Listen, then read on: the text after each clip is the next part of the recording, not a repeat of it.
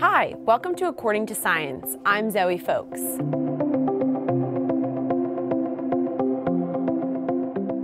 Have you ever wondered why people age differently? Why some people look great as they get older and some people begin to look older before they get older? For example, I'm 71. I know I look great. Actually, I'm not, but we all know people who seem to look and feel younger than they are. So, why is this? Is it nature, nurture? Is it just their genes? Is it because of the old saying, people get the face they deserve? Which is obviously not true because who deserves to look as great as Beyonce?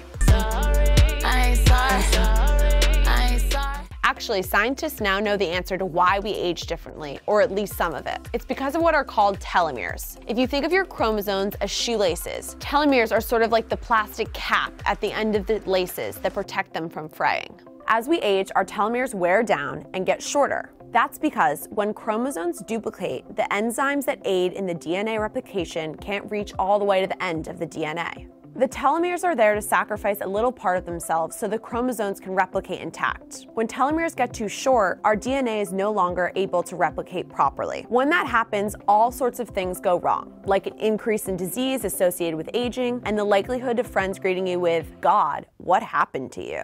But the good news is that we have some control over this. All of us are aging, well, except for Pharrell. How is he 44? But recent discoveries have shown that how we live can influence the length of our telomeres and thus how we age. In 2009, molecular biologist Elizabeth Blackburn won the Nobel Prize in Medicine for discovering telomeres. And last year, she published The Telomere Effect with health psychologist Elissa Epel. They show how our lifestyle can help reduce chronic disease and improve well being all the way down to our cells and all the way through our lives. They break down the idea of lifespan into health span and disease span. Our health span is the number of healthy years we have before we slip into disease span, which doesn't sound like a lot of fun. And what they found is we can stop our telomeres from shortening by reducing stress, exercising, eating better, and getting enough sleep. Your telomeres, it turns out, are listening to you. It's not just how we're living, but even how we're thinking. Feeling negative, hostile, threatened, or stressed speeds up the aging process through our telomeres. They're one of the key biological connections between our mind and body. That's because the enzyme that replenishes telomeres, called telomerase, is affected by the amount of stress hormone cortisol in our body. Here are some other fun facts about telomeres. Meditation can slow down the shortening of our telomeres.